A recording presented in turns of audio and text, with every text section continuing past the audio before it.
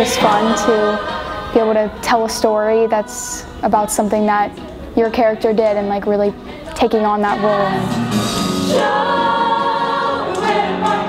We started with vocal rehearsals for two weeks where we just sang the show and then we got into the choreography rehearsals where we started dancing which is really fun because we haven't done a big dance number in a while here at Berkeley.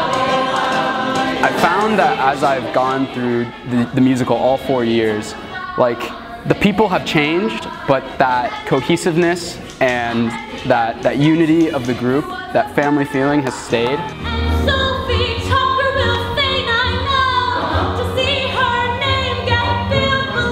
I think everybody should come see the show because it is really funny. A lot of your friends are probably in it. It's a hilarious show. Um, the music's great.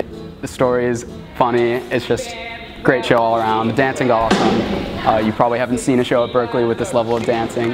It's a show about female empowerment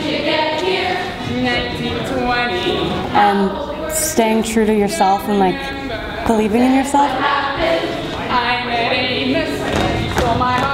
Think my favorite part would be challenging myself into more of a acting role because I normally sing. We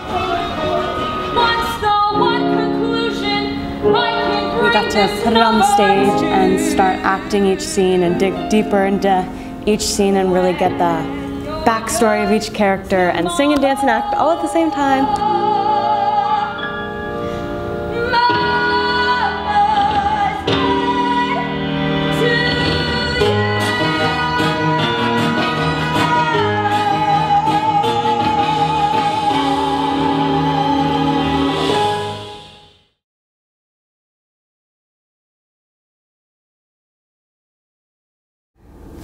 Um, uh, can I start over?